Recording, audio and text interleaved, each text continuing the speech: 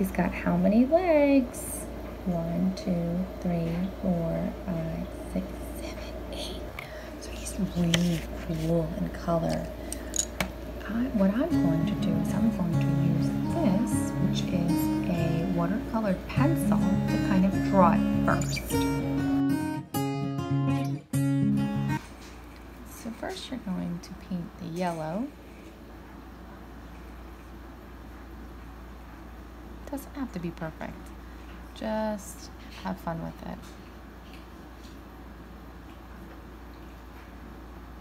See, I'm just doing like dashes on it first. In the yellow, I'm gonna make a little bit yellow here. Just have a little bit of yellow on the body.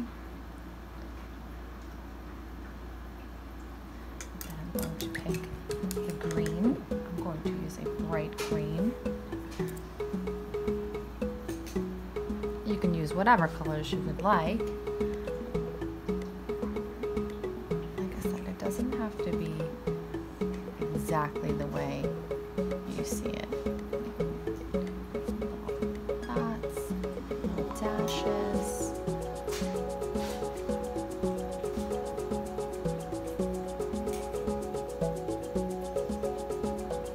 I like to use a thin brush, it's easier to control.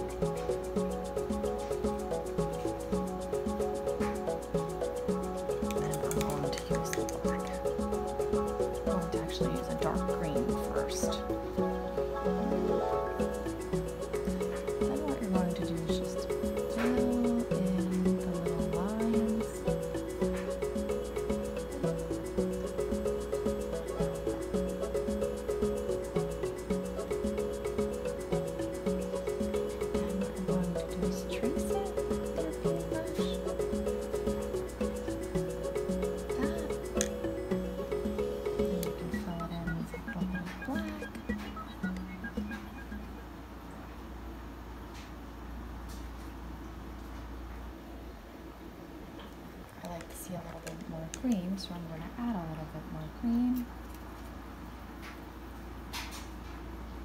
inside. I'm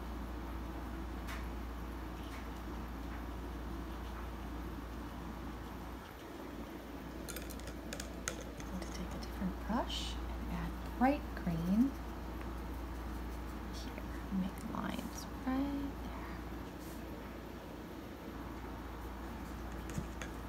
And there is your spider. Doesn't look exactly like it, but it's very similar. So you can take anything you'd like and make any type of insect you like. This is my spider, and here is my bumblebee.